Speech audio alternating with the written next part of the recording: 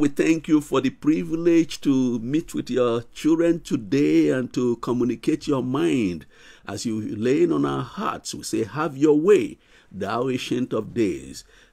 Take the things that are hidden and make it plain by your spirit. Grant us understanding in Yeshua's name we pray. Amen.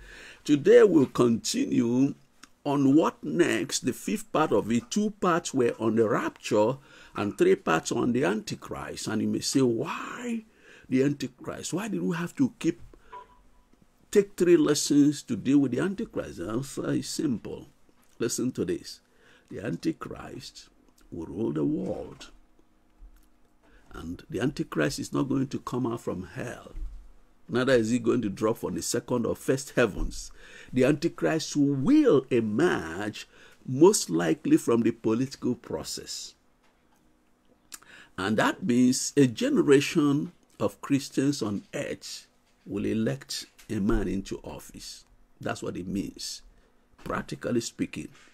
So these things are serious. Why we keep emphasizing Christians in this end time when it's time for things like national election, don't just grab what others grab. Ask the Lord to do what He wants to do. And if you are there, you are safe. Because when the Lord uses your hand to put in, is no longer you, it's His. So there are vessels of honor and vessels of dishonor. And in the fullness of time, certain things will be so manifested. So that's why today we want to look at the Antichrist part 3 outcomes of policies and activities of the Antichrist, the coming world ruler. What are the outcomes? Brothers and sisters, remember what we told you repeatedly? The Antichrist will not manifest until the church is taken out of the way in the rapture. That is the biblical order in Second Thessalonians chapter 2, clearly articulated. Then when you now look at other scriptures, it all fits in. And we want you not to be one of those who are lost in the pre, mid, post tribulation quarrels. Those things are meaningless. What matters is be ever ready. What matters is live your life in such a way that if it comes now or tonight, you make it. And the things he told us to do, live in obedience. He said, occupy till I come. Be part of that who is occupying until he comes. So what we now do is to examine eight outcomes of the rule of the Antichrist. What is it that his rule will occasion in the earth realm? Eight outcomes. Number one, multitudes on earth who refuse to receive the love of Elohim in Yeshua will embrace and worship Satan directly or indirectly through the Antichrist. They will do that either by worshiping the Antichrist as their God or Satan who gave him power.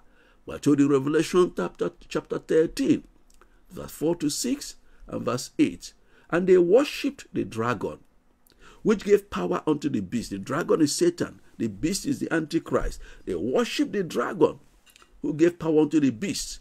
And they worship the beast, saying, Who is like the beast, who is able to make war with him?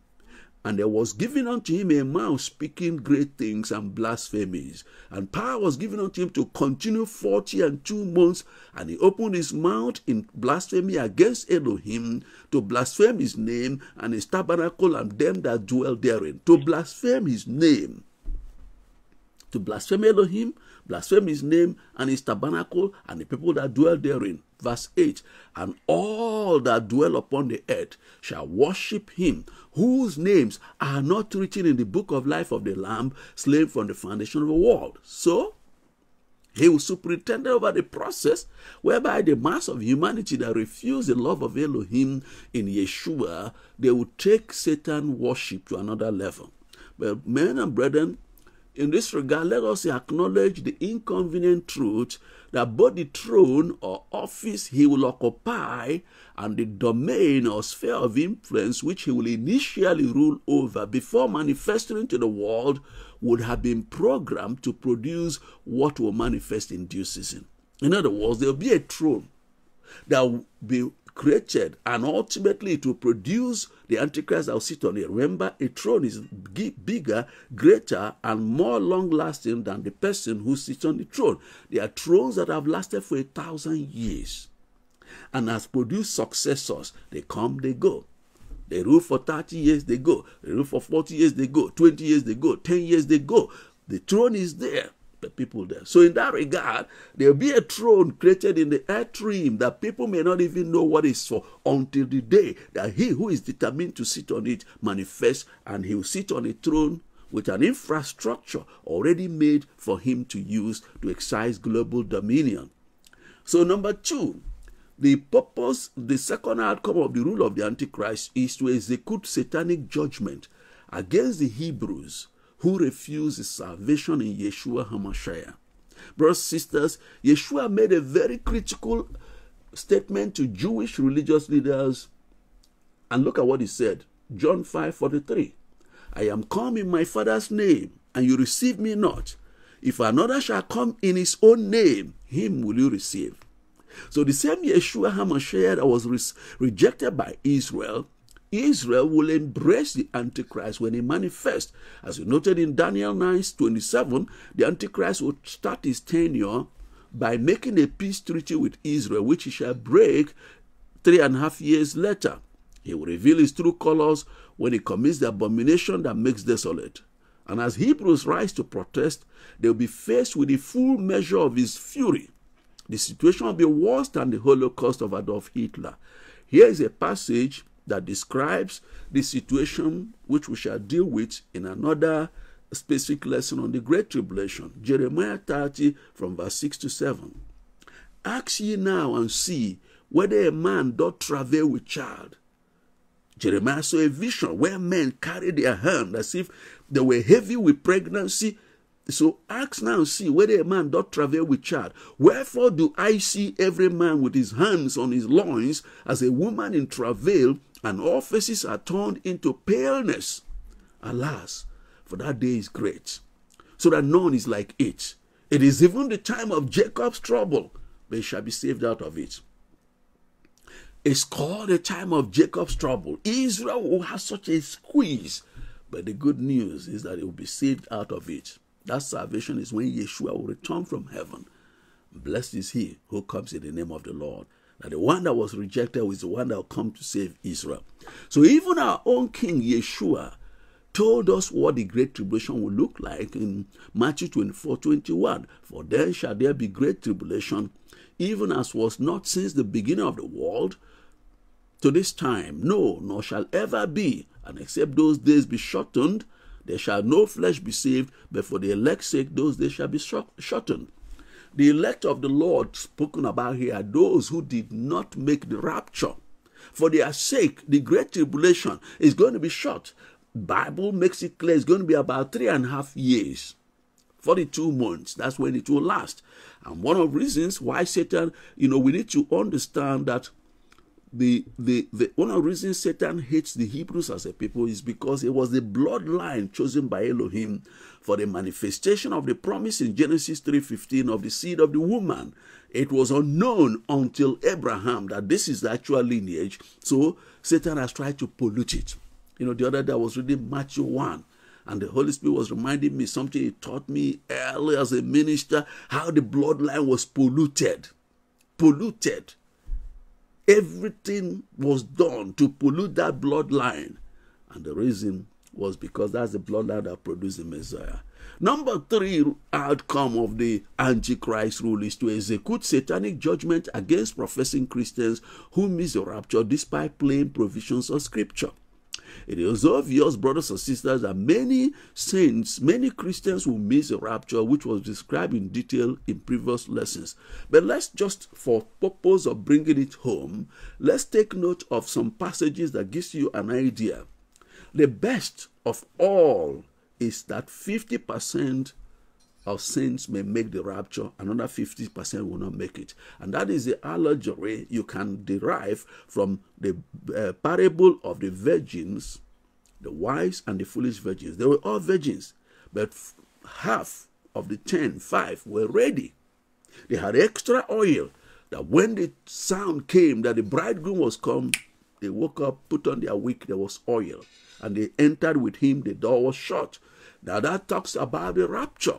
That they are Christians, they are not into adultery, they are not into fornication, they didn't do any of the external things, no financial crime, but their own issue was they were not watchful and therefore they didn't come to understand that sharpness of spirit of people to leave that he may come any moment was lost in them and that's how they missed the rapture so they were told here that 50% are those who will make it to the rapture potentially 50%, but that's not all. In Luke 19 11 to 27, out of 10 servants who were given gifts by Yeshua, assets with which to go and do kingdom business to occupy till he returns. Only two had a positive report. The first, the second, the third one came and said, You know what? You are an austere man. I hid your money and he was condemned into utter darkness. Now, the question is what of the 70? There was nothing reported of them. Can I submit to you that it also describes potentially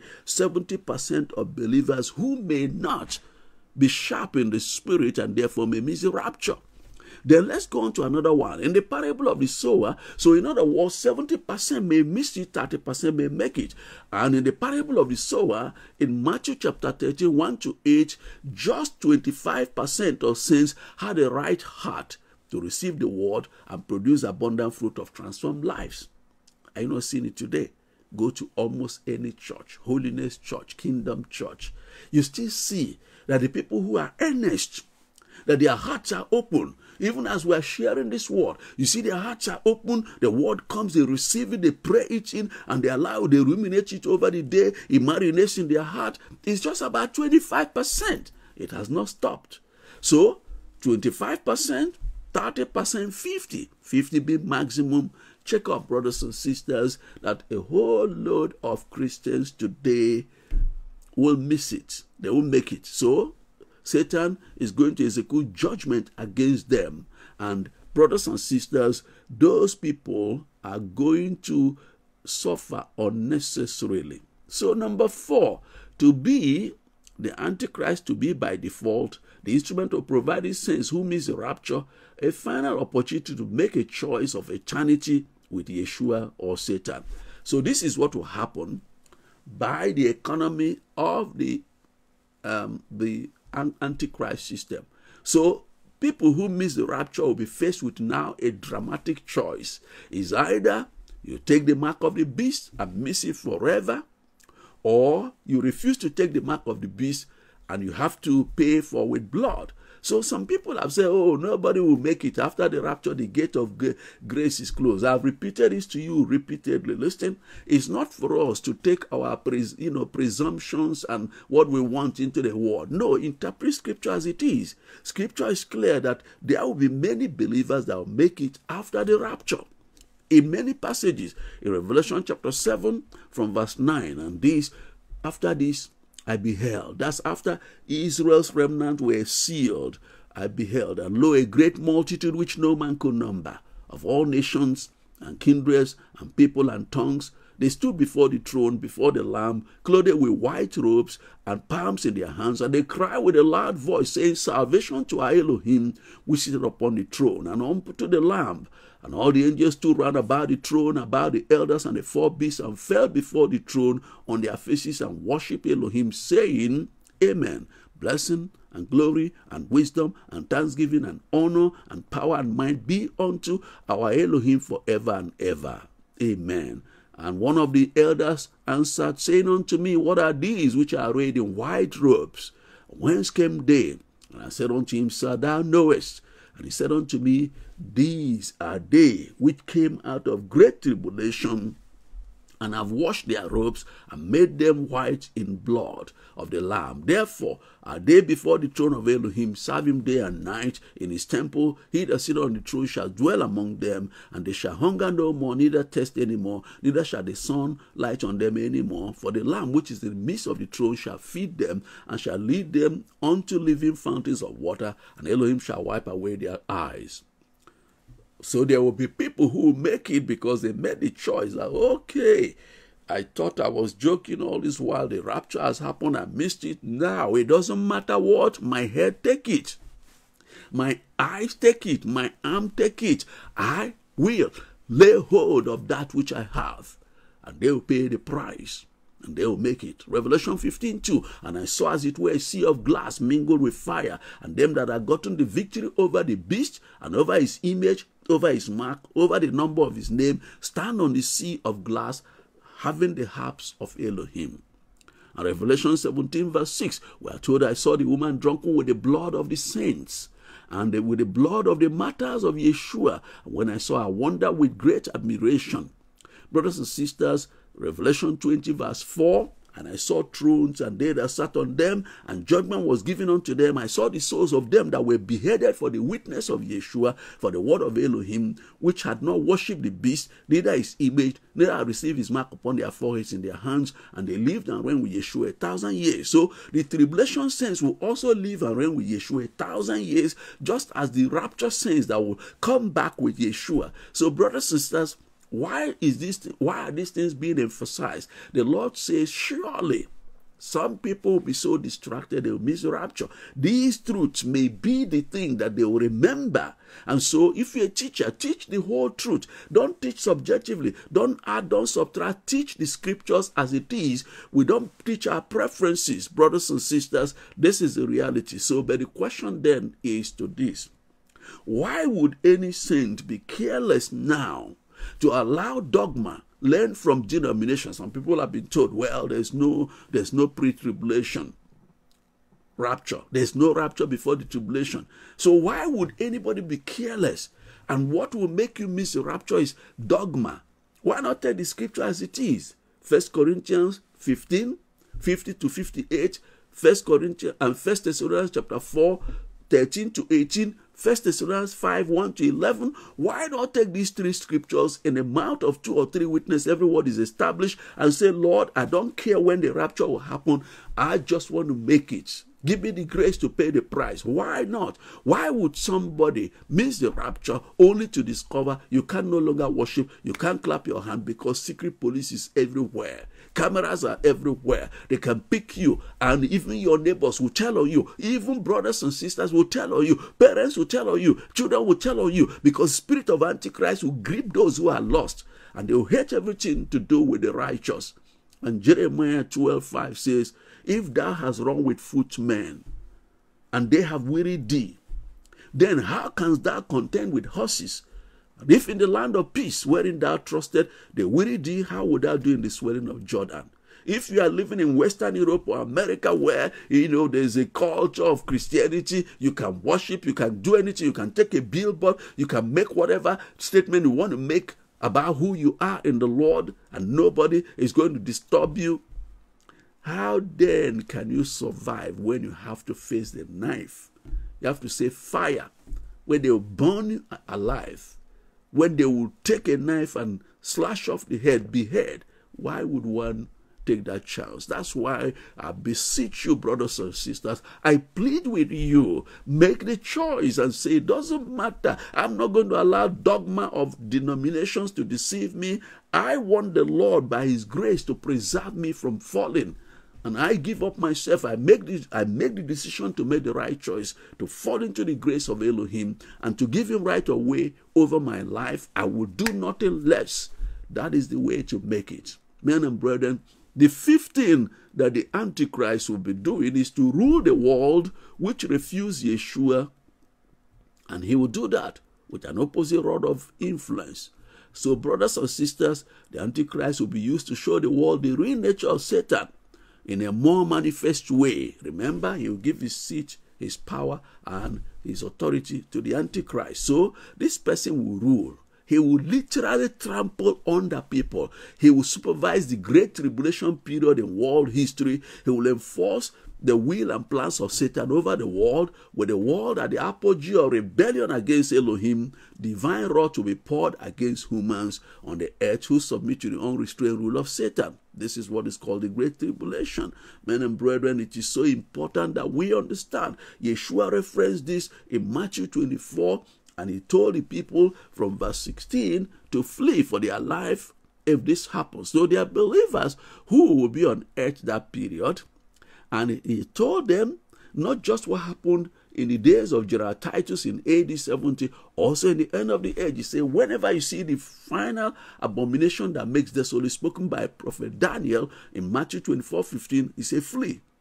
So there are people who will be in Israel who are believers who miss the rapture. They will see the abomination of desolation, and Christians across the world on satellite, on cable, is going to be one of the biggest news. With the day the Antichrist will enter the temple and say, Worship me.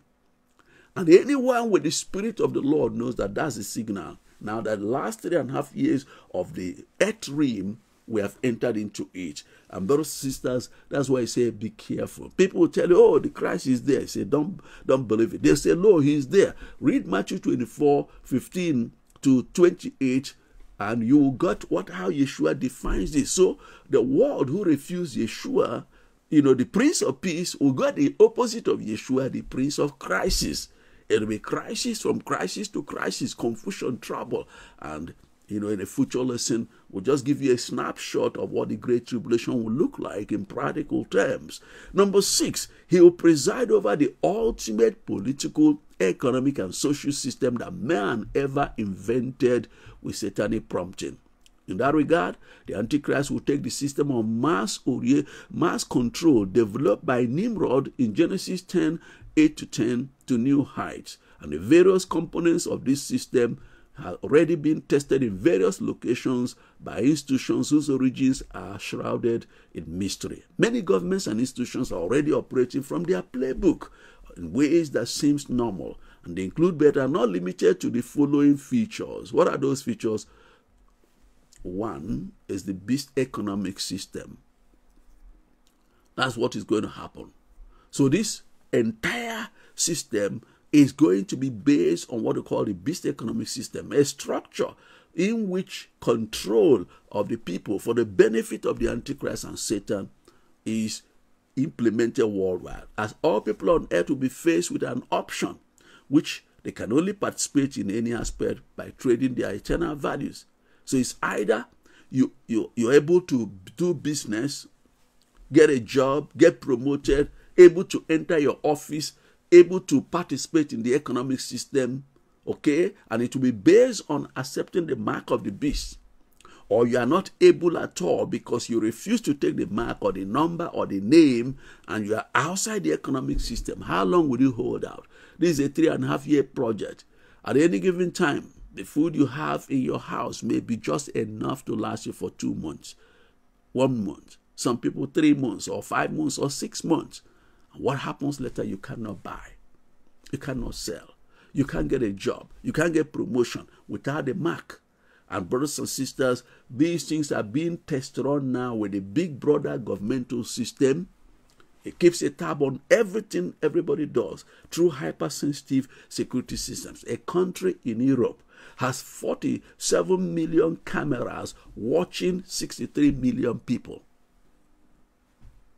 And you have no idea how many cameras are watching you until you consider all the CCTVs on the road, all the speed cameras, all the CCTVs in banks and institutions, the street cameras, and the ones that are there monitoring people, and the need for security is going to occasion people adopting this. And then the welfare state the welfare state, people love it a lot, whereby government, you know, gives people money, cell phone, gives people this, that, that, and people don't work and they just depend on government. What people don't know is that that also leads to government control. Because if government knows you, if government owns you, provides your everything you need, including accommodation and pocket money and all that, a day will come when government will cash its check by telling you what to do, whether you like it or not, and just do it. Then, of course, the cheap technology. We know things like RFIDs have been developed, but RFIDs are just on this side of eternity. Things that are tinier than RFID, more critical than RFID, are being developed. Some of them you don't even know. There are people who are scientists and technologists. You know what? They don't participate in the normal lifestyle. Their life is in the laboratory. They've dedicated themselves to solving problems. And what they find out and what they discover, you look at the vaccine, COVID 19 hit, and while other people are doing businesses, some scientists have been in the lab. The only thing they do is to come out to have a grab, eat. And some of them sleep on chairs, solving the problem. And if it is so, the development of the ultimate device that will be the you know that will be like taking the cheap technology to its ultimate is that which Revelation chapter 13 and 14 speaks about. That will be the mark of the beast that could be projected into people that without it you can't buy or sell. So these things already fixed, kind of. These things are fixed. So it is so important for us to know that we are warned in Revelation 14. This has been said. Look at what the, the false prophet will do in Revelation 13, verse 15. He had power to give life unto the image of the beast. That the image of the beast should both speak and cause that as many as will not worship the image of the beast should be killed.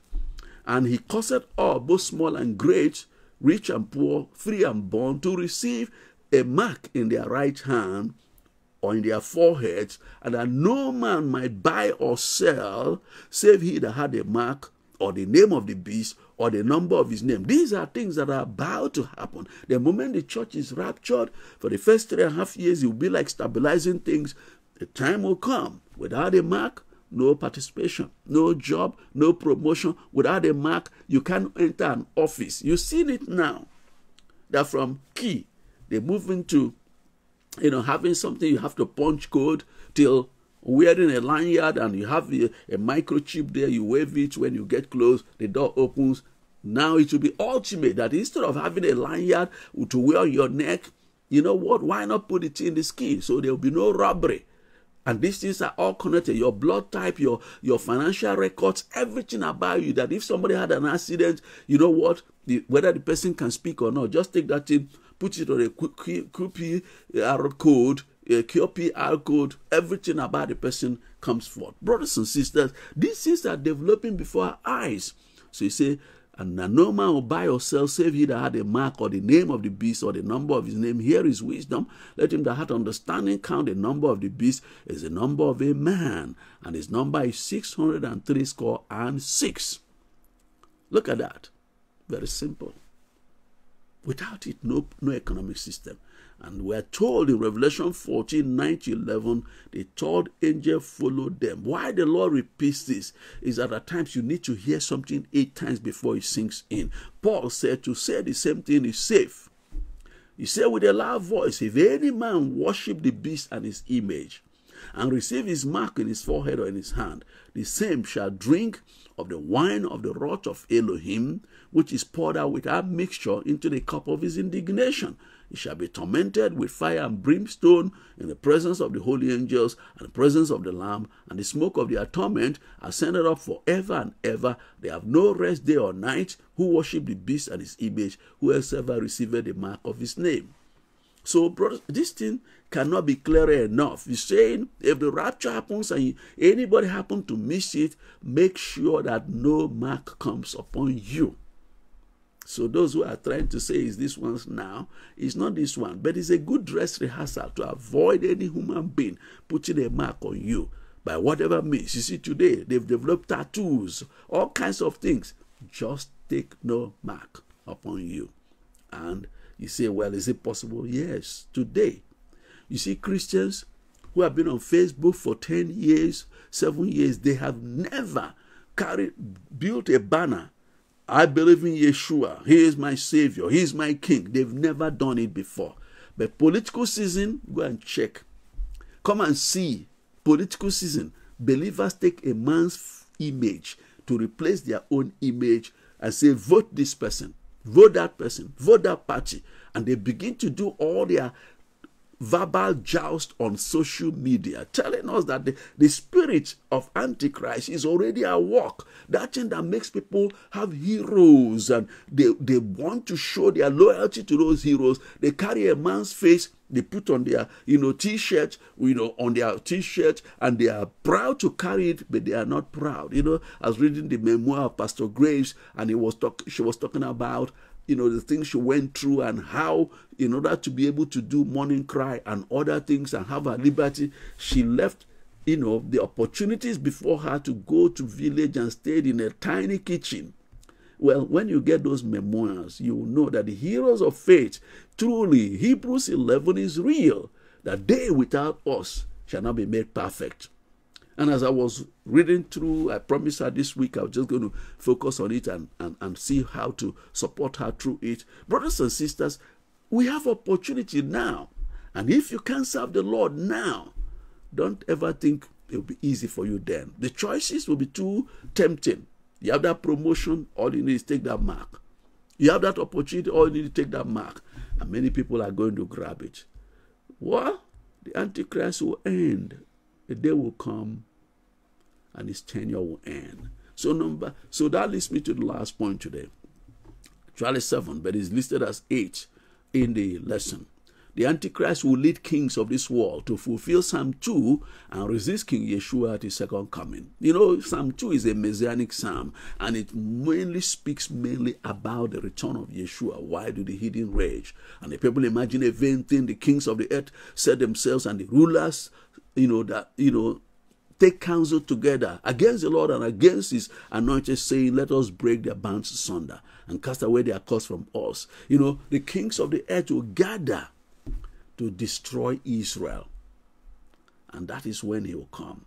As Antichrist plans his final assault to exterminate the Jews in the seventh year after his manifestation, heaven will respond. The king of the Hebrews will return with all the saints of all the ages who have been decorated at the marriage supper of the Lamb in Revelation chapter 19. King Yeshua and his army will come down and fight the Antichrist and vanquish him and his armies. You know, Enoch, the seventh from Adam, had this to say. He saw in the realm of the Spirit the end of the age before he was raptured.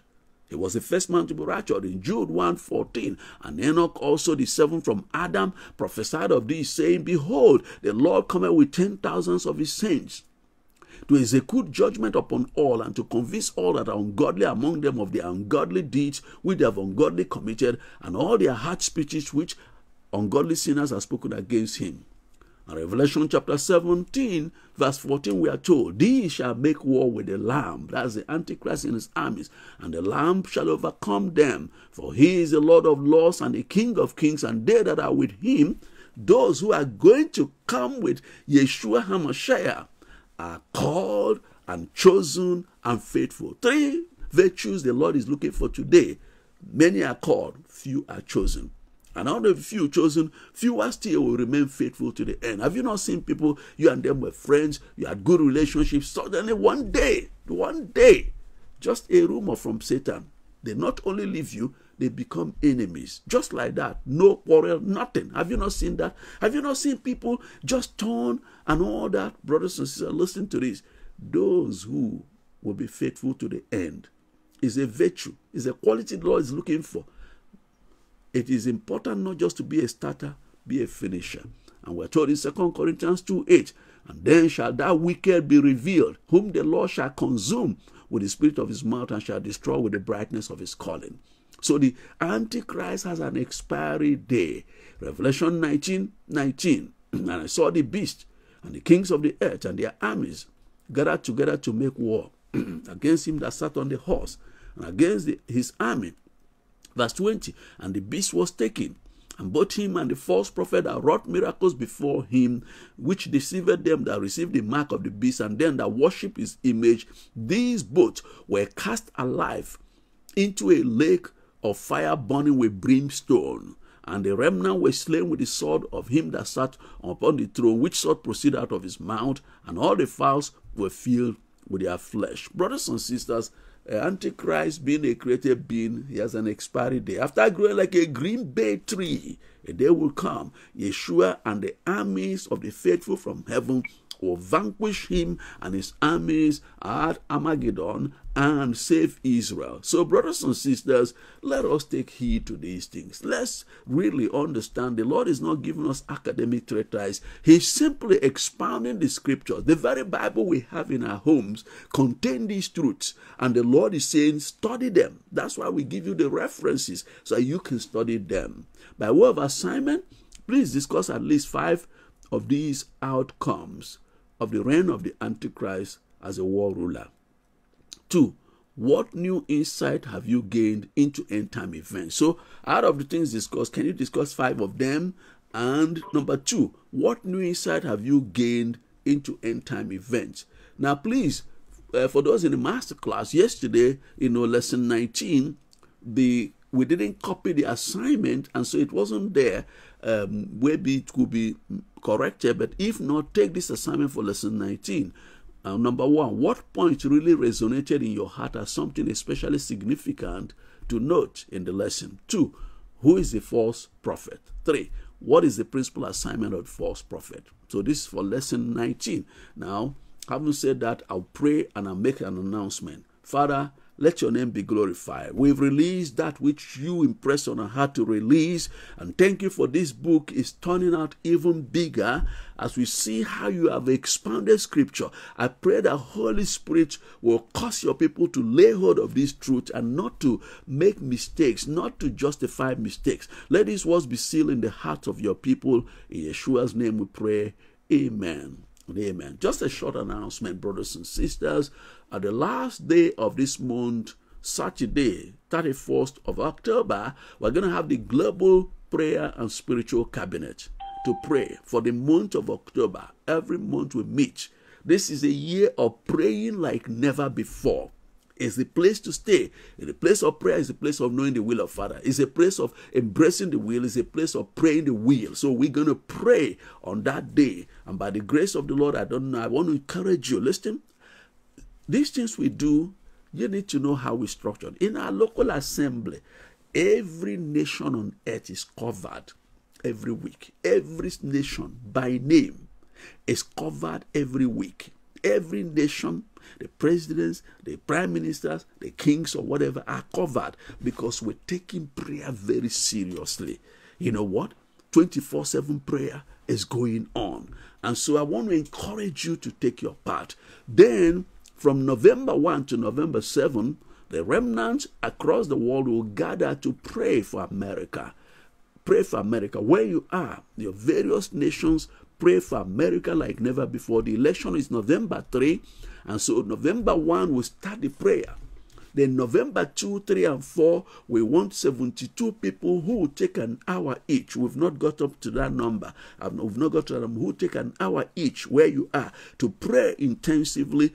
And by the grace of the Lord, you know what? Is going to cover the election our prayer is let the will of Elohim be done. Let the people vote without intimidation and let Elohim choose who he wants to. And there's something the Lord dropped in my spirit that there are outcomes that are not on the ballot. So we're going to pray for that week and different national cabinets will take different days. USA will take 3rd November, that very day. Teacher Stephanie is reaching out to all of you to pray. And I want to encourage everyone take your part and the Lord will bless you. America has been a blessing to the world, and it's our time to be a blessing to America. And by the grace of the Lord, this is something we're looking forward to. We look forward to meet with you, and we pray that the Lord will impress on your heart to be what others are doing and to participate because we all are one in the Lord. Thank you so much. The Lord bless you.